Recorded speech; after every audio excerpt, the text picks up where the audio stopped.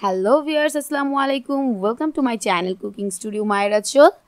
আজ আমি আপনাদেরকে একটি ডিফারেন্ট টাইপের রেসিপি তৈরি করে দেখাবো। সেই রেসিপিটার নাম হচ্ছে গোসের আচার। অনেকেই ভাবছেন যে গোসের আচারটা আবার কি? হ্যাঁ ভিউয়ার্স আমার রেসিপিটা ফলো করে এই গোসের আচারটা একবার ট্রাই করে দেখুন। নিরাশ হবেন না। এতটুকুই বলছি। যাই হোক কথা না বাড়িয়ে চলুন তাহলে দেখি নেই যে এই গোসের আচার তৈরি করতে আমাদের কি কি উপকরণ লাগছে আর কীভাবে তৈরি করছি।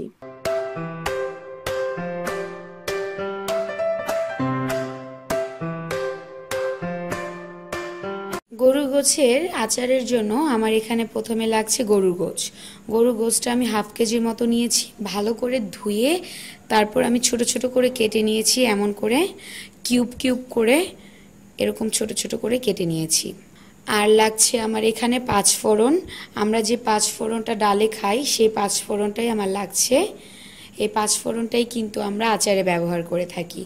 এই পাঁচ ফোড়নটা লাগছে আমার, লাগছে সরিষার তেল, লবণ, আর এখানে আছে আমার হলুদ গুঁড়া আর মরিচ গুঁড়া। চুলাতে আমি গরু গোশটা বসিয়ে দিয়েছি। এখন আমি এর মধ্যে দিয়ে দিচ্ছি লবণ আমি হাফ চা চামচের মতো লবণ দিয়ে দিলাম, আর এখন দিয়ে দিব পানি। পানিটা কিন্তু আমি বলেছিলাম মেজারমেন্ট কাপের এক কাপ, সেটা দিয়ে আমি চুলার আঁচটা বাড়িয়ে দিচ্ছি। ঢাকনা দিয়ে ঢেকে দিচ্ছি আমি, আর যখন বলক চলে আসবে তখন আমি আঁচটা তখন আমি মিডিয়াম করে দিব। বলকটা আসার পরে তারপর ২০ মিনিট আমি এটা এভাবে চুলায় রাখব, মিডিয়াম আছে। তারপর আমি চুলার আঁচটা বন্ধ করে পানি ঝরিয়ে নিব। বিয়ার্স, আমি চুলাতে একটি প্যান বসিয়ে দিয়েছি। এখন এর মধ্যে আমি চার টেবিল চামচ সরিষার তেল দিয়ে দিচ্ছি। তেলটা গরম হওয়া পর্যন্ত অপেক্ষা করব। হালকা যখন একটু গরম হয়ে আসবে তখন এর মধ্যে আমি দিয়ে দিব যে পাঁচফোড়নগুলো রেখেছিলাম, সে পাঁচফোড়নগুলো আমি তেলে বলেছিলাম যে গুঁড়ো করে নিব। আমি জাস্ট হালকা ভাবে দুই থেকে তিন মিনিটের মতো টেলে নিয়েছি। গরম একটা প্যান বসিয়ে দিয়েছি চুলার মধ্যে। তারপর আমি সে তিন টেবিল চামচ পাঁচফোড়ন দিয়েছি। দিয়ে, দেওয়ার পরে আমি দুই থেকে তিন মিনিটের মতো আমি সেই কড়াইয়ের মধ্যে আমি হালকা টেলে নিয়েছি। তারপরে আমি টালার পরে নামিয়ে ঠান্ডা করে আমি ব্যালেন্ডারে এমন করে গুঁড়ো করে নিয়েছি। গুঁড়োটা আমার এমন হয়েছে, দেখুন। এটা আমার হালকা গরম হয়ে এসেছে। গুঁড়ো করার পর আমি বলেছিলাম, দুই টেবিল চামচের মতো দিব। আমার, আমি একটু বেশি দিলেও সমস্যা নেই, আমি একটু বেশি দিয়েছি দুই টেবিল চামচের থেকে। কারণ একটু বেশি দিলে মশলাটা জাস্ট একটু বেশি হবে, তাছাড়া আর কিছুই না। ভয় পাওয়ার কিছুই নেই। তো যাই হোক, আমি এটা এখন একটু ভেজে নিব। যখন এই পাঁচফোড়নের সেন্টটা একদম স্মেলটা একদম ঘরে ছড়িয়ে যাবে, তখন আমি এর মধ্যে দিয়ে দিব হলুদ গুঁড়া আর মরিচ গুঁড়া। জাস্ট হালকা একটু ভেজে নেই আমি। আমি কিন্তু আঁচটা মিডিয়ামেই রেখেছি। আঁচটা কিন্তু বেশি দেওয়া যাবে না, কারণ মশলা তাহলে কিন্তু পুড়ে যাবে। আমার স্মেলটা বেরিয়ে এসেছে। সারা ঘরে ঘরে ছড়িয়ে গেছে স্মেলটা। আর কেমন একদম ফেনা ফেনা হয়ে এসেছে।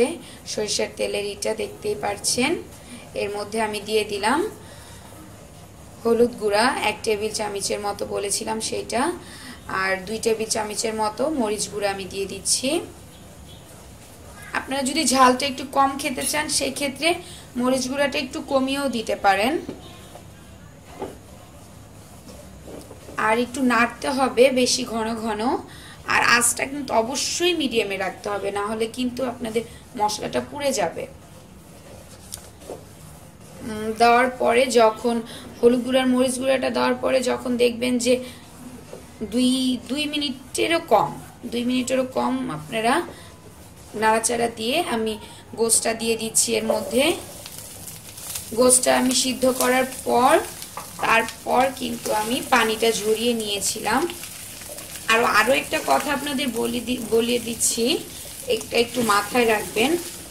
গোসটা যখন আপনারা সিলেক্ট করবেন, অবশ্যই তেল ছাড়া, হাড় ছাড়া গোসটা নেয়ার চেষ্টা করবেন। গোসটা দেওয়ার পরে আমি প্রায় পাঁচ থেকে ছয় মিনিটের মতো ভালোভাবে একটু মশলার মধ্যে কষিয়ে নিব। পাঁচ থেকে ছয় মিনিটের মতো মশলাটা আমার কষানো হয়ে গেছে। এখন আমি এর মধ্যে একটু লবণ দিয়ে দিব। আমি টেস্ট করে দেখেছি, লবণের পরিমাণটা একটু কমই হয়েছে। আমি সেদ্ধর সময় লবণ দিয়েছিলাম দেখেছিলেন আপনারা দেখতেই পেরেছিলেন। যে আমি সেদ্ধর সময় যতটুকু লবণ দেওয়ার দিয়ে নিয়েছিলাম, তারপরও আমার লবণের পরিমাণটা একটু কম হয়েছিল বিধায় আমি এখন দিলাম। হয়ে গেছে আমার। এখন আমি এর মধ্যে দিয়ে দিব সরিষার তেল। তেলটা দেওয়ার পর যে দুই মিনিট আমি জাল দিব বলেছিলাম, আমার হয়ে গেছে। এখন আমি চুলার জালটা বন্ধ করে দিয়েছি। এখন আপনারা এই অবস্থায় ঠান্ডা করে, এই আচারটা, এই অবস্থায় ঠান্ডা করে তারপরে কোনো একটা বয়মের মধ্যে রেখে দিতে পারেন। যদি আপনারা ফ্রিজে না রাখেন, এমনি নর্মালি রেখে দেন, তাহলে আপনারা ছয় থেকে সাত মাসের মতো এটা এভাবে রেখে খেতে পারবেন, ডুবো তেলের মধ্যে রেখে। আর যদি এমনিতেই ডুবো তেল, আমার আর কোনো তেল দেওয়ার দরকার পড়বে না। যথেষ্ট তেল দিয়ে দিয়েছি আমি, বয়মে ভরলে এমনিতেই ডুবো তেলের মতো লাগবে। আর যদি আপনারা ফ্রিজে রেখে দেন কোনো বয়মে ভরে, তাহলে প্রায় এক বছরের মতো আপনারা এভাবেই রেখে খেতে পারবেন। আমার হয়ে গেছে, এখন আমি নামিয়ে রাখছি। তৈরি হয়ে গেল আমার গোসের আচার। এটা কিন্তু গরম ভাত, খিচুড়ি বা পরোটার সাথে খেতে অসাধারণ লাগে।